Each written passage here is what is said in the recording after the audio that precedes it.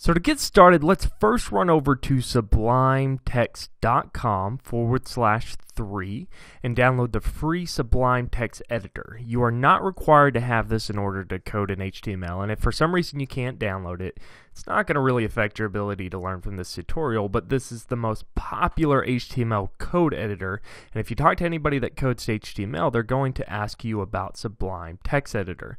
So you might as well get your feet wet. I want to equip you to be the best developer you can be, and I think that this tool will definitely equip you to be that. I have no ties to it.